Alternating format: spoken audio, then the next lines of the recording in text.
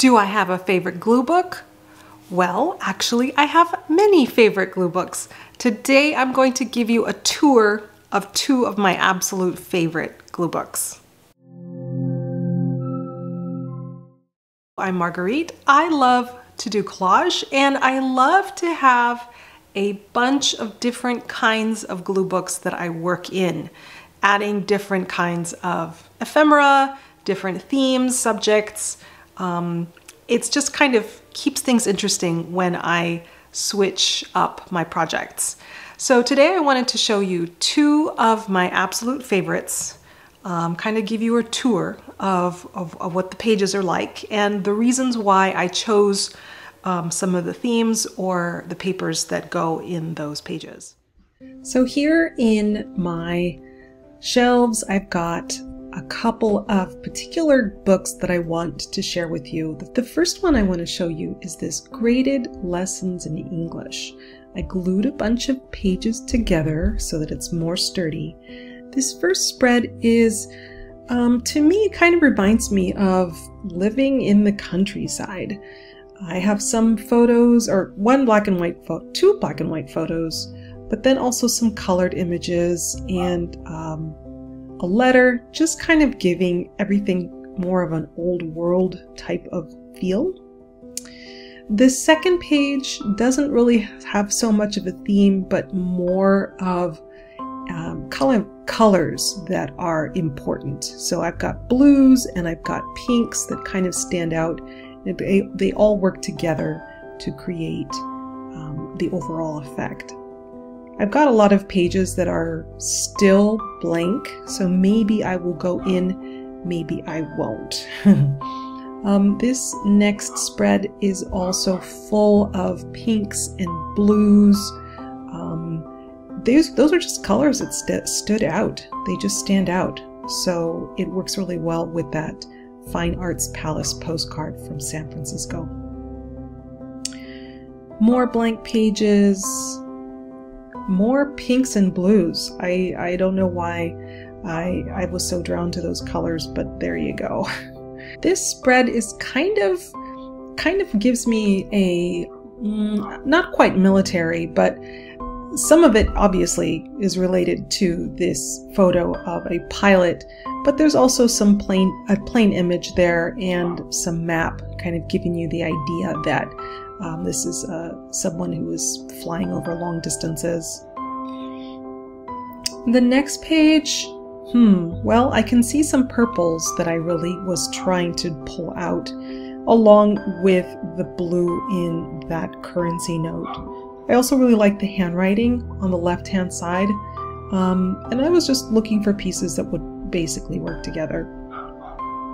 Here the main thing was this postcard taken of a bunch of German soldiers uh, from World War One, and so I have a currency note. It's also German from around that age. Here I have this postcard on the right of a mission, I believe. It looks like a mission.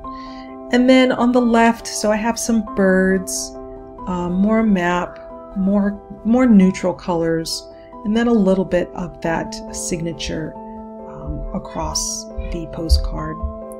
On this spread, it's super colorful. There is a uh, trade card in the middle, and that kind of sets the tone for the color. Luckily, I was able to find that millinery uh, trade card also to make it work.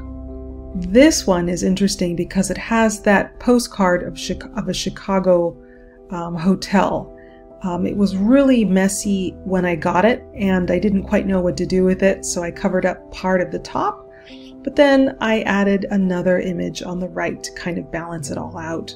This one has reds that really stand out, and that's basically what I was trying to do is use other red in other images to kind of make it all come together.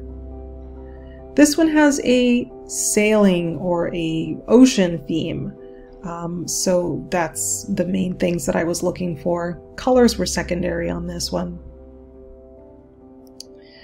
Um, I don't have a, I don't know. These, for this one, I was just picking things that I thought might work. I, this one didn't, this is not my favorite page. I, I didn't really feel this one.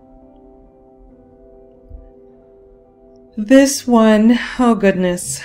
For some reason, war came to mind when I saw those ration stamps.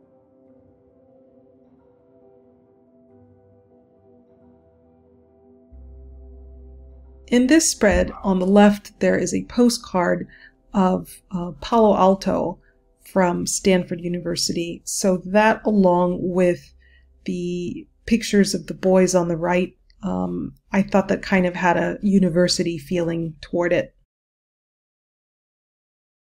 And I think that's it.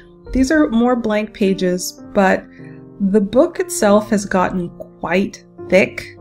It's pretty bulky, and so I don't think that I can add uh, more to it. Now, this is something entirely different. I'm trying to show you here. It says, um, what does it say? It says valuable papers, which is kind of embossed into this cover. This is some kind of strange folio um, that I happened to find at a garage sale. And I thought that I would try and put some valuable papers inside and see if I could make a glue book out of it. So when I open up this clasp, on the top is a place, I guess, where you can put a business card, but I just have this ATC in there. Here's this strange kind of binding. It's it's got eyelets and a cord that that goes through the eyelets and holds uh, envelopes that also are punched on the top and on the bottom. So it's it's a very unique binding, very unique, and I liked the idea of playing with it in some way. So the envelopes on the right are all different, and this one starts with life insurance. Um, and I was looking in general for quote unquote valuable papers. What are valuable papers? Valuable papers are things having to do with finance. They are um, things like currency, they are bills, they are um, contracts, they are birth certificates or deeds, you know, anything kind of like legal um, or, you know, just just papers like that. And sometimes I find them in other languages or um, or not, or in English. I like these forms. Some of them are in these pretty colors. There's green and um, red copies. And then I just took pieces of currency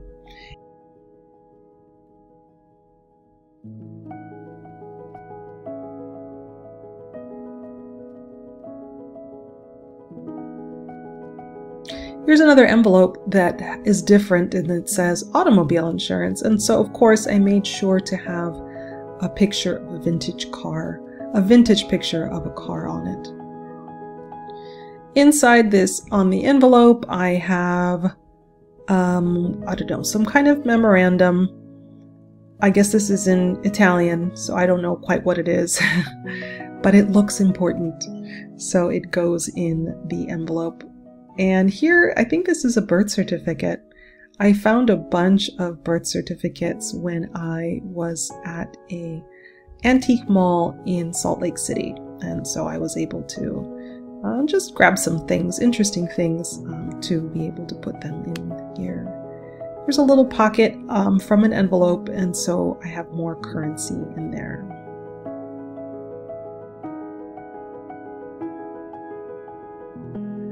Five francs um, from the French bank. That's such a cool banknote along with that postcard.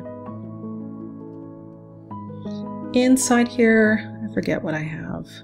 Another birth certificate and something in German. I don't know what this is, um, but it's aged very nicely and it has some great handwriting on it. So it is a keeper for to be placed in these envelopes.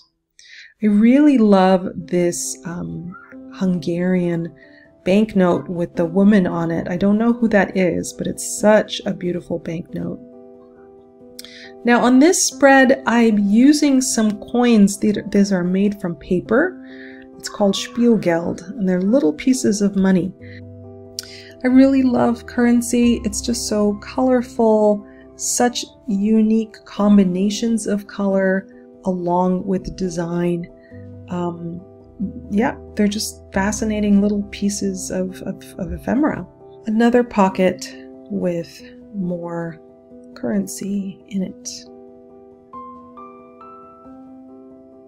I also love pictures of buildings. Um, those old colored postcards are great for that. Here's some more of that Spielgeld, those little coins, along with um, a great envelope from a hotel in San Francisco that's got some really cool handwriting on it. More things in my last pocket. A, what is that, deed? I guess it's a property deed. And in addition, also some discharge papers.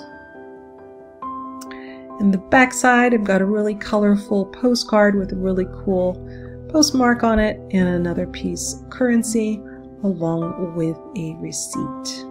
Here again, you can see that binding. You can see how the uh, cord goes through those eyelets and then just kind of hold it all together. So these are two of my favorite glue books. I hope you enjoyed looking through them with me.